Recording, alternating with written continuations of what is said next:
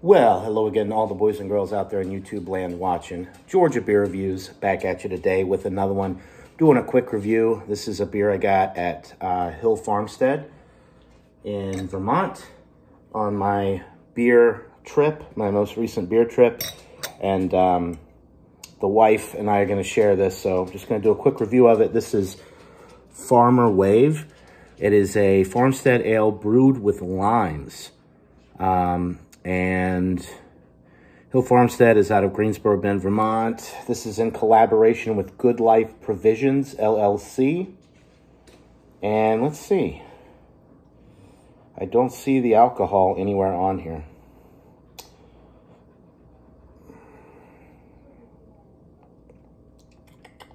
Yep.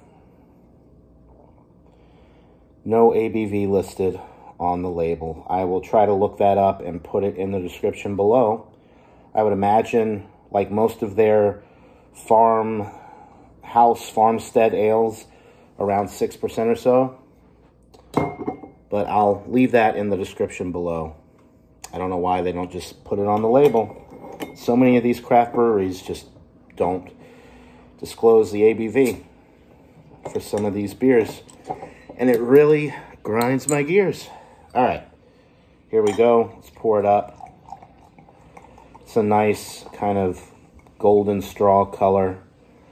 This one really caught my eye just because uh, of the limes added to this. I thought that was a an interesting additive for a farmhouse style or farmstead ale is what it says, but farmhouse, saison, that type of thing, kind of funky. Yeah, right off the bat, getting that kind of fruity, funky, tart aroma. A little bit of barnyardy type notes going on as well. A little bit of that lime coming through also. Really nice appearance. Really nice uh, aroma. Nice little bready malt action on the nose as well. It smells really good, guys. So without further ado, let's get into this brew. Cheers. I said this was going to be fast. Mmm. Oh, wow. That is fantastic. If you've ever had the Arthur, which is one of their farmhouse ales, it's very similar to that, but the, with the zesty component of the limes, that little extra tartness as well, a little bit more acidic also, which you typically get a lot of acidity with these types of ales anyway, just from the open fermentation and the way that these beers are brewed are brewed, you get a lot of the um,